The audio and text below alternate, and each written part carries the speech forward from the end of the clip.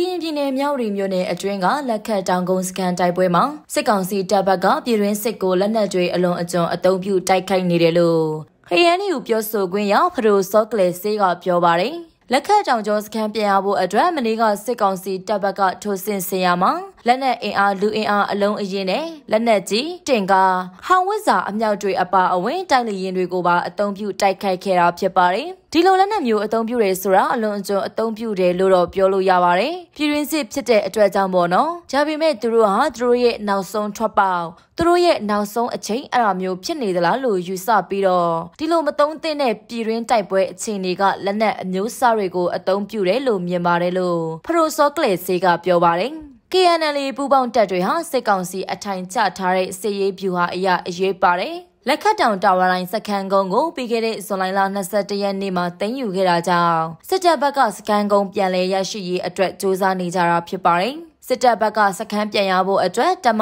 44တမမှုကတိုက်ရိုက်ညွှန်ကြားနေပြီးလက်လက်အင်အားတက်အင်အားဖြစ်တဲ့ကနေ့စဉ်နဲ့အမျှထိုးစစ်ဆင်နေတယ်လို့မနေ့ကဩဂုတ်လ15ရက်နေ့မှာ KNU ကထုတ်ပြန်ထားပါတယ်။ဒါအပြင်စစ်ကောင်စီလက်အောက်ခံမြစ်တာလင်းမြိုင်တောက်လုံးကြီးခံကော်တထောင်ခလာရနှစ်ခွန်ကစတဲ့လက်နက်ကြီးရှိတဲ့စခန်းတွေကနေလက်ခတ်တောင်စခန်းကုန်းရှိရာကိုလက်နက်ကြီးတွေနဲ့နေစဉ်ပစ်ခတ်နေတယ်လို့စစ်ရေးသတင်းရင်းမြစ်တွေထံကသိရပါတယ်။ မနေ့ကဩဂုတ်လ15ရက်နေ့မှာတိုက်ပွဲထပ်မံပြင်းထန်ခဲ့ရာနှစ်ဖက်ထိခိုက်မှုတွေရှိနေတယ်လို့သိရပြီးမဲခေါင်သတင်းဌာနအနေနဲ့အတီးပြုတ်နိုင်ဖို့နှစ်ဖက်လုံးကိုစ조사ဆက်သွယ်နေစေဖြစ်ပါတယ်။စစ်ကောင်စီဘက်ကထိခိုက်ကြဆုံးမှုတွေကြားရပါတယ်။လောလောဆယ်တော့အတိအကျအခြေအနေတွေမသိရသေးပါဘူးလို့ KNU ပြောခွင့်ရပုဂ္ဂိုလ်ကပြောပါတယ်။တင်ငန်းညင်အောင်စစ်ဆေးရုံမှာတော့စစ်ကောင်စီဘက်ကဒဏ်ရာရသူတွေနဲ့တိတ်ဆုံးသူတွေကိုထားရှိပြီး သွေးလုံမဲ့သူလိုက်ရှာနေရတွေရှိတယ်လို့သတင်းရင်းမြစ်တူကပြောဆိုပေမဲ့မဲခေါင်သတင်းဌာနအနေနဲ့အတိအကျအတည်ပြုနိုင်တာမရှိသေးပါဘူးဒီကနေ့မှာတော့တိုက်ပွဲပြန်လည်ငြိမ်သက်သွားခဲ့ပြီးစစ်ကောင်စီဘက်က